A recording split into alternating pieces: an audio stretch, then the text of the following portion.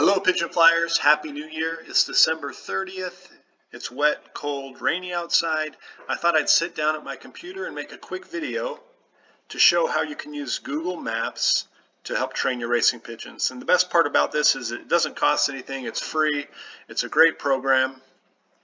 I might kind of looks like a jumbled mess. I'm gonna I'm gonna deactivate some of these layers and talk to you about what we're looking at here. All right, so the star represents my loft. This first circle's 5 miles from my loft, 10 miles, 20 miles, and 30 miles from my loft. So when I get ready to train my birds, I'm going to change this to satellite view so you can see what, what I'm looking at. The first toss, I do the first toss the same place every year. Um, I do it from this a, a guy's driveway. Um, it's right up here the loft's down here. It's about 1.5 miles. So that's, that's the first toss that I do. So let's say that first toss was made on April 6th. I'm going to go ahead and put the date in there that I made that toss.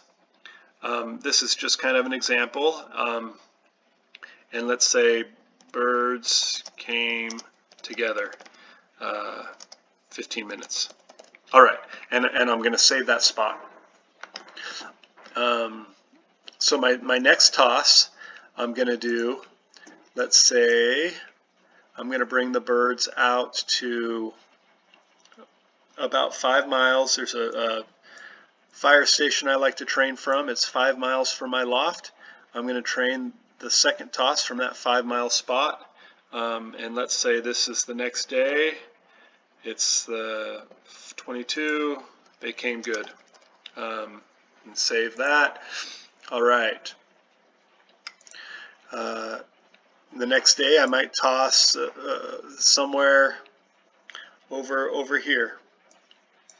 There's a park that I like to train from that's five miles from my loft. It's right here. Let's say that was on on April the 8th. Um, sorry, 22, and you could put the birds came together. So what I like to do, let me zoom out, kind of talk about this for a sec. So here's the loft. I bring them to that first toss, and then I bring them, you could say, around the compass. Um, I bring them um, east of the loft, west of the loft. You know, and there's other places I might I might bring them north or south, and it's not exactly. If they're coming good at five miles, I'll bump them out to the 10 mile spot. Then I'll bump them out to a 20 mile spots, and then uh, out to 30 miles. I like marking after I, I toss the birds I like keeping a record and, and marking where they where, where I toss them from just so you can compare year to year and you can kind of see what works. I'm going to deactivate 2022 tosses and let's look at 2017 tosses. So these are the tosses I made in 2017 um, and I don't know if I got them all in here you know hopefully I did but uh, here's the first toss second you know and and and they're kind of kind of grouped together um, what I like to do um, is over here you can click and look at a data table and you can see the dates of what the when the tosses were and any notes. Um, you know, I single toss from from this spot and I lost a bird. Um, I don't do a whole lot of single tossing, but I do do some, and I usually train the same spot the day before.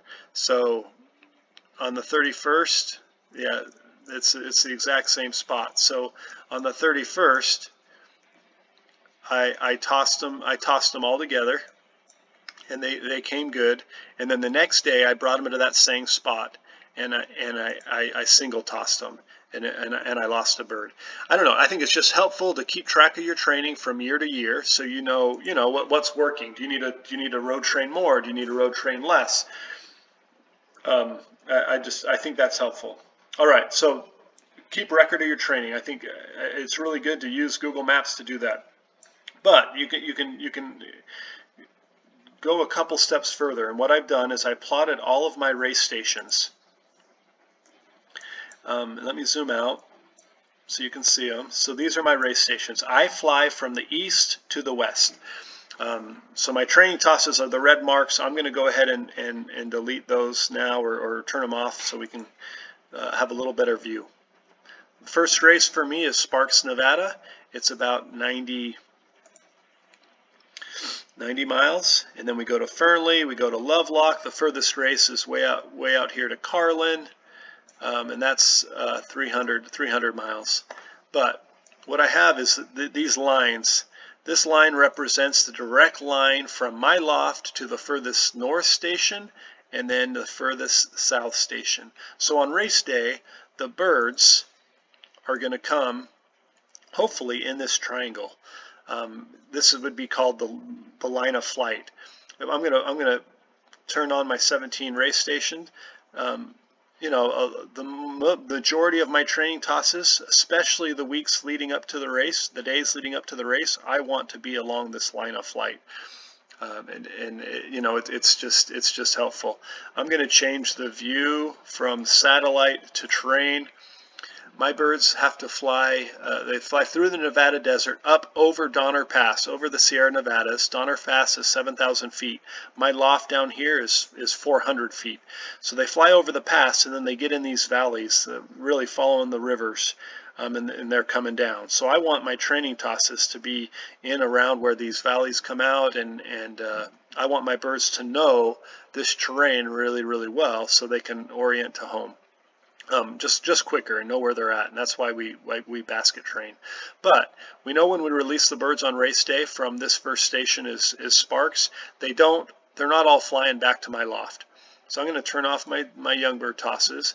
And what I've done is I've put all my club members and also my combine members, the guys we're flying against in here. So these are lofts representing people that are in my club that I'm flying against, and then these are combine lofts, people that, that I'm flying against. So I'm in a good spot. The majority of the birds are coming down into this area, but there are these outlying guys. Um, so my birds on race day from this first race, they could be mixed up with this guy's birds, or maybe some of them get mixed up with this guy's birds, and they're flying somewhere up here.